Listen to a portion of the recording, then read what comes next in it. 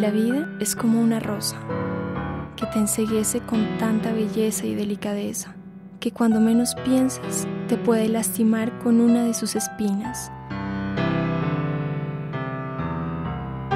Descubre tus ojos. Detén el SIDA.